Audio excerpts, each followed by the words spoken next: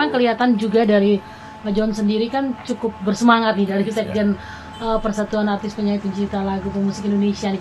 Memang begitu semangat untuk bagaimana Ambon maju dengan kota musik. Ya bagaimana Bung John sendiri atau Pak John untuk melihat Ambon sebagai kota musik itu apalagi kan sudah ada uh, konsultan kota musik saat ini. Ya, jadi kalau kita lihat Ambon itu um, ada di tahap awal ya. Iya. Jadi sebagai kota musik banyak yang harus dikerjakan, terutama di dalam hal infrastruktur. Iya. Jadi kalau kita bandingkan dengan misalnya kota Solo, Iya. wah di sana itu kriterianya mungkin sudah hampir terpenuhi semua. Mereka punya sekolah tinggi musik, mereka punya uh, pada pada bukan musik, punya industri musik, itu juga Bandung kan gitu. Iya. Nah, eh, pilihan backup kepada kota Ambon ini Hmm. tentu bukan melihat pertama pada infrastrukturnya karena itu masih kurang sekali. Hmm. Artinya eh, dalam hal eh, adanya satu sekolah tinggi musik, Bupati baru membuat eh, satu program studi bidang musik. Hmm. Jadi baru program studi belum Hmm. sampai ke fakultas musik. Hmm. Jadi untuk itu Backraft bekerja sama dengan Bupati. Ya, kemarin kita tanda tangan bersama rektor itu Iya. Eh, untuk mempercepat pengadaan sekolah musik itu dengan kursus-kursus musik dan lain-lain. Kemudian Iya. termasuk nanti eh, pembuatan struktur struktur pendidikan musik itu mulai dari SD. Jadi itu berarti eh, Pemkot itu akan menyediakan tenaga-tenaga guru yang Mhm. betul-betul musik, bukan guru Iya. olahraga merangkap Iya. musik gitu. Nah, Iya. Jadi sampai Harus itu itu, tuh, ya. betul-betul nanti di Ambon itu lulus SD udah tahu Iya. balok semua. Lulus SMP sudah buat bisa membuat komposisi Iya. musik gitu. Jadi sehingga Hmm. berbedalah Ambon itu dengan kota lain. Hmm. Nah, itu banyak yang memang harus eh, dilakukan. Nah, Hmm. eh, kenapa Ambon dipilih? Eh, saya berpendapat itu memang pantas itu dalam arti gini. Kalau infrastruktur itu kan gampang dibangun. Ada dana kita langsung bisa bangun. Jadi waktu kita bangun, kita bangun, kita bangun, kita bangun, itu tapi karena rohnya, jiwanya nggak ada, dinamika masyarakat itu tidak di musik, ya itu saran-saran itu menjadi kosong-kosong saja. Iya. Tapi kalau Ambon itu memang hidup dalam musik, dinamika musik. Mhm. Jadi begitu infrastruktur itu ada, penuh semua itu langsung jadi gitu. Iya. Jadi ada roh, roh musik itu di dalam masyarakat Ambon. Dan Mhm. kemarin itu saya bicara dengan Pak Rektor, Pak Rektor bilang iya di salah satu kota kemarin ada eh, lomba lomba paduan suara dan musik di kota itu, besar Mhm. dipromosi besar-besaran, ditayangkan di gedung besar, tapi pengunjungnya sedikit sekali. Iya. Nah, beda misalnya di Ambon begitu dengar ada kumpul Musik, musik, di sini kumpul musik Iya. berbondong-bondong lah gitu. Nah, itulah pilihan background. Nah, karena kita Ambon berada di tahap awal, itulah nanti yang membuat PR kita banyak sekali. Jadi Mhm. Pak Robin Malau mungkin akan ekstra kerja keras buat Ambon Iya. dibandingkan beliau kan juga mendesain kota-kota kreatif lain. Iya. Jadi Pak Robin ini akan bekerja lebih keras. Iya.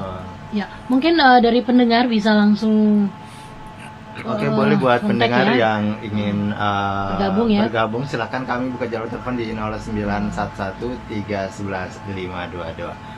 Oke, ke Pak Robin dulu Pak. Sebenarnya kalau kita lihat dari uh, Ambon Kota Musik rencananya Iya. sebenarnya uh, kendala dari Ambon sih seperti apa? Atau mungkin malah nggak ada kendala nih Pak? Maksudnya kendala apa? apa? Uh, misalnya dari pemetaannya, dari perencanaan Oh. di yang, yang yang yang tadi yang yang Bapak Se- sebutkan. ya sejauh ini ke tu- apa namanya metodenya kan ada beberapa ada interview ada group meeting ada Hmm. ada FGD uh, forum group discussion kemudian uh, pengu- mengunjungi lokasi dan Hmm. lain sebagainya sejauh ini sih tidak ada masalah ya Mhm. malah didukung sekali Um, uh, masyarakat Ambonnya semangat semangat sekali gitu loh jadi Ah. jadi uh, uh, kami juga sangat sangat berterima kasih karena pekerjaan kami juga jadi jadi lebih ringan gitu ya Hmm. tapi ini juga menunjukkan bahwa memang eh, apa setidaknya di pada masyarakat yang saya temui gitu ya Hmm. tem- teman-teman yang saya temui itu semuanya memang menginginkan benar-benar gitu loh apa Hmm. namanya sen- sen- apa semangat semangat gitu ya semangat untuk Oke. membuat eh, Ambon menjadi kota musik ini. Jadi diajak meeting, diajak ke jalan, diajak apa namanya eh, eh, kumpul Iya. itu datang terus eh, ditanya pendapat diberikan pendapat gitu jadi jadi eh, sangat suportif dari dari dari dari pihak Ambonnya gitu jadi kami juga jadi jadi semangat Iya. Oke Pak eh, Robin, kita tahan dulu ada penelpon yang masuk, kita Iya. sapa dulu. Halo, selamat pagi. Halo, selamat pagi. Selamat pagi dengan siapa Bu? Dengan Ibu Yunit Jalan Dokter. Dokter Ibu Setia Yunit? Budi. Ya, Dokter Setia Budi ya? Iya. Oh ya.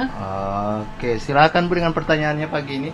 Oke, selamat pagi Pak John, selamat Pak Robin, selamat Pagi. datang Selamat ke. Ambon, selamat eh, datang sebagai tamu untuk merayakan Hari Kota Ambon sekalian menjadi eh, duta musik untuk Ambon. terima kasih Bu Oh ya, Eh, ini saya mau nanya ya karena Ambon ini dia punya labelnya eh, kota musik sudah paling lama sekali. Tapi kita hanya mendengar-mendengar aja. Baru kali ini saya mendengar eh, bapak bapak-bapak datang untuk memajukan ah, Ambon sebagai kota musik.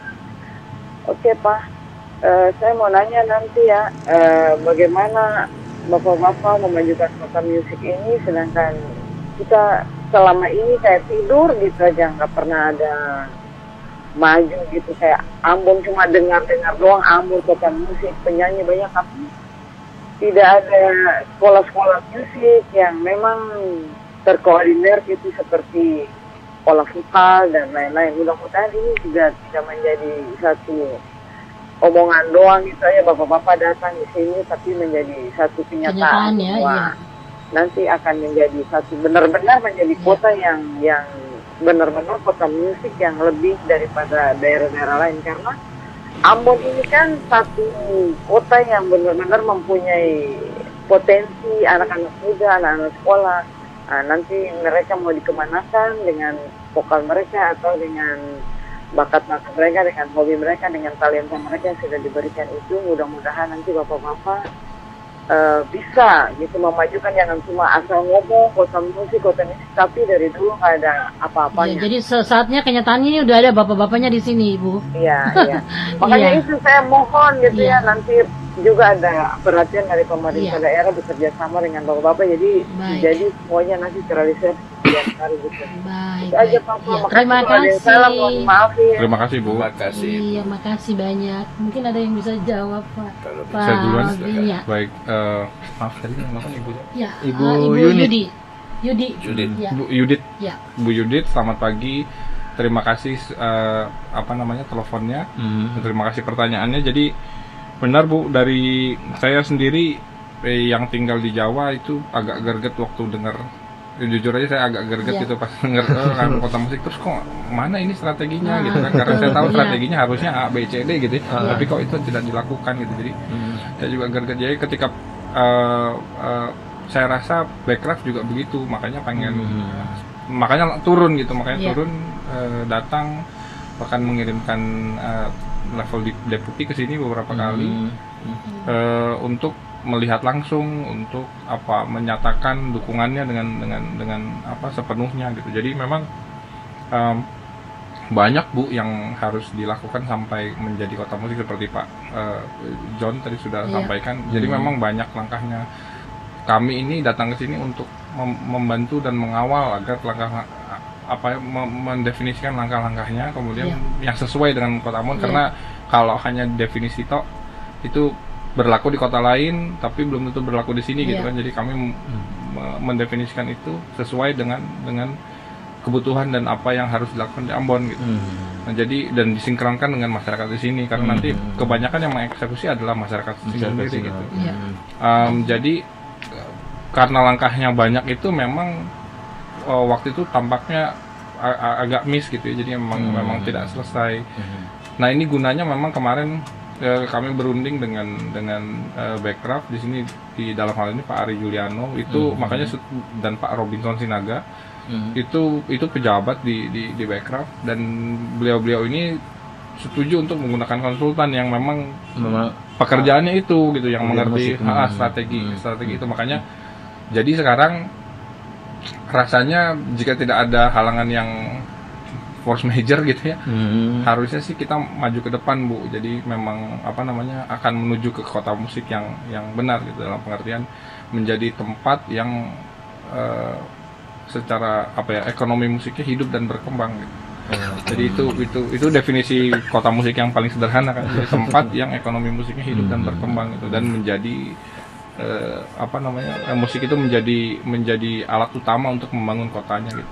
Jadi gitu bu, Eh, mudah-mudahan tidak ada halangan tapi intinya niatan kami datang ke sini itu untuk untuk bekerja untuk membangun kota Ambon sebagai kota musik. Pak John, tidak ada?